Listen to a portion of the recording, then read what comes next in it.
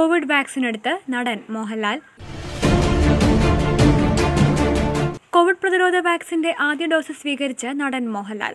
കൊച്ചിയിലെ അമൃത ആശുപത്രിയിൽ വെച്ചാണ് മോഹൻലാൽ വാക്സിന്റെ ആദ്യ ഡോസ് സ്വീകരിച്ചത്. ഇരുപത്തിയെട്ട് ദിവസങ്ങൾക്ക് ശേഷം വാക്സിന്റെ രണ്ടാം ഡോസ് സ്വീകരിക്കും. നാം ഓരോരുത്തരും വാക്സിൻ സ്വീകരിക്കേണ്ടത് സമൂഹത്തിനു വേണ്ടിയാണെന്നും മോഹൻലാൽ പറഞ്ഞു.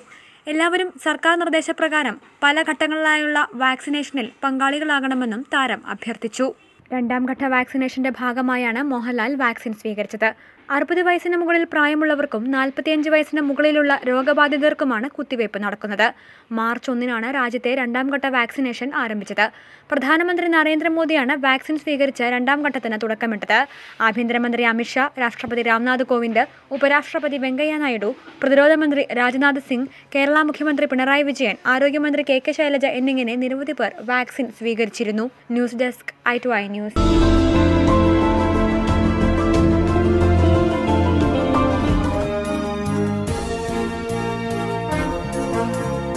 I to I News, an eye for truth.